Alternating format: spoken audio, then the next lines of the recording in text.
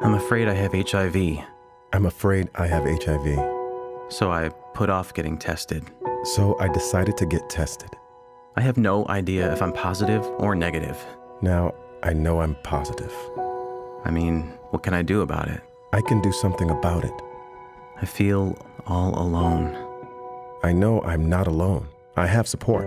Counselors I can talk to, even free meds if I need help paying for them.